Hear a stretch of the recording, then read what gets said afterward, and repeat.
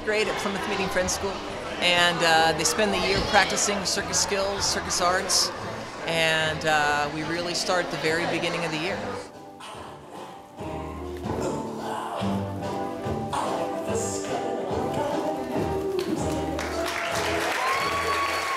I wanted to write a math book, was really how it started. And if you're going to write a math book, you might as well have it be interesting. So we came up with the idea of having a circus.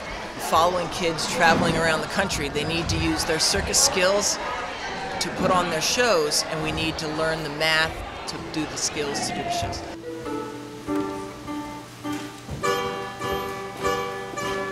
I practice gymnastics a lot at my house and here because we're doing a lot of difficult things and you need to practice for them. It allows the kids to take a risk in a, and challenge themselves in a really safe environment um, and accomplish something that they don't really believe they can, and then they can. They do.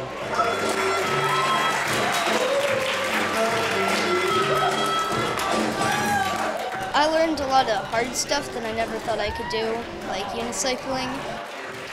The kids are amazing. They work so hard. You know, you give them a goal and they do it and they practice and they're into it and they're excited about it. And you see what fourth graders can do. They can do whatever they set their minds to doing and that's what we do. So.